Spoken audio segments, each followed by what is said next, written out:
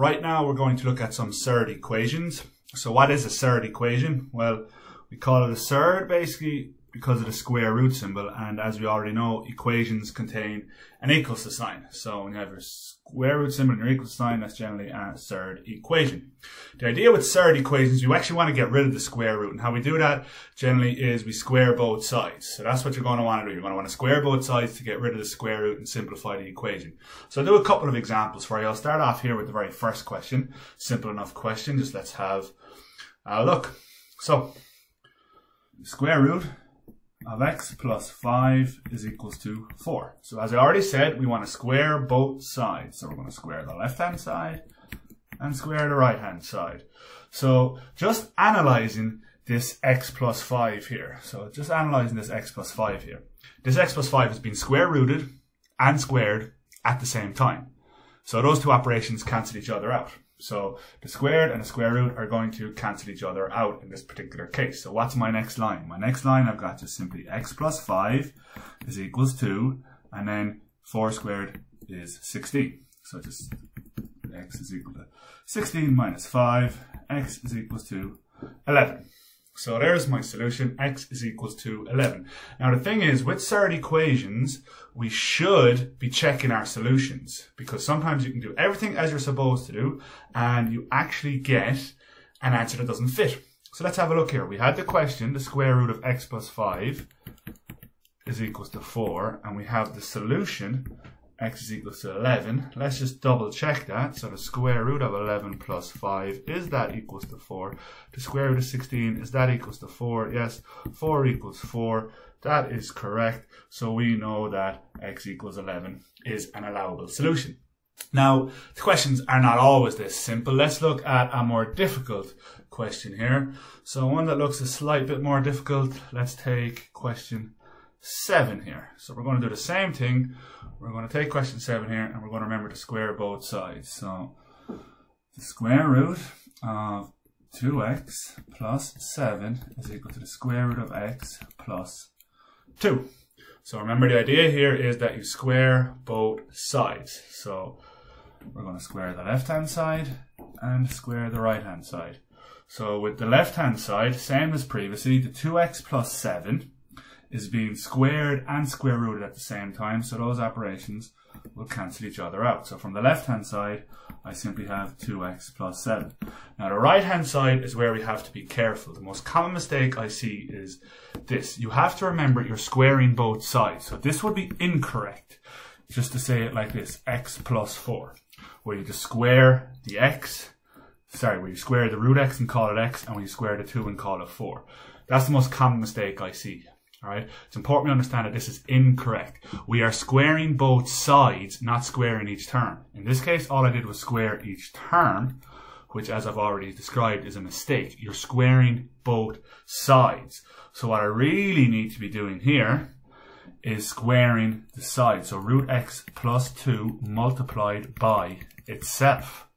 All right, so the left-hand side will stay the same, 2x plus 7. The right-hand side then, I'm going to do my multiplication. First of all, root x by root x. We know that that's x.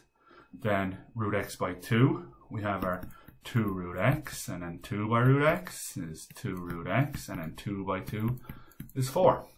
So let's tie this up a little bit further. You've got 2x plus 7 is equal to x plus 4 root x plus 4.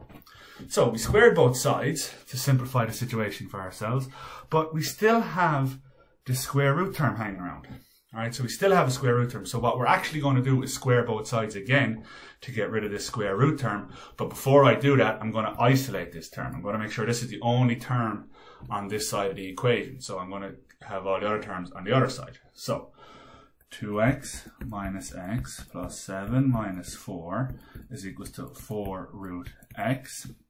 So that's going to be x plus 3 is equals to 4 root x. So x plus 3 is equals to 4 root x. So what am I going to do to continue here? Same as I did the last time. I am going to square both sides. So these you're going to square the left hand side and the right hand side, squaring out the side fully. Just bring this to the next page for ourselves.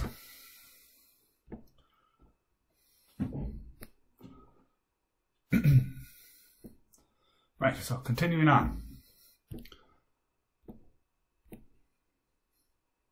x plus 3 squared is equal to 4 root x squared. Embed this. So, squaring both sides, the left-hand side, it's very important you remember that we're squaring the entire side. So it's x plus 3 by x plus 3.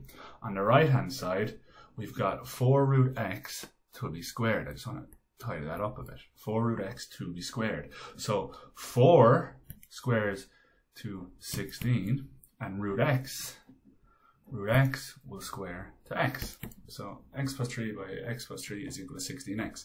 So multiplying and expanding out the left hand side, you're going to have x squared plus 3x plus 3x plus 9, and that's equal to 16x. Tidying this up a little bit further, x squared plus 6x plus 9 minus 16x equals 0. So that's x squared minus 10x plus 9 equals 0. Solve the quadratic equation, which is pretty straightforward for us at this stage. So x minus 9 is equal to 0, and x minus 1 is equal to 0. x is equal to 9, and x is equal to 1.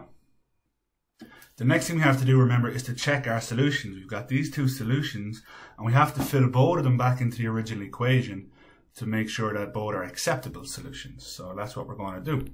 So our original equation was square root of 2x plus 7 equals root x plus 2. And we had our two solutions, x equals 9 and x equals 1. So the idea is we have to fill both of those in to make sure they both are acceptable. So the square root of 2 times 9 plus 7, does that equal root 9 plus 2? 2 9s are 18 plus 7 is 25, so you've got the square root of 25. Is that equals to 3 plus 2? Is 5 equals to 5? Yes, it is. So that means x equals 9 is a good solution. Let's do the same when x equals 1. So the square root of 2 times 1 plus 7, is that equals to root 1 plus 2? Well, 2 1s are 2 and 7 is 9, so we have root 9. Is that equal to 1 plus 2? Is 3 equals to 3? Yes, it is. So we also can say that x equals 1 is an allowable solution. So that is surd equations. The best thing for you to do now is practice a couple of these guys and check your solutions and please subscribe for worked and more detailed solutions.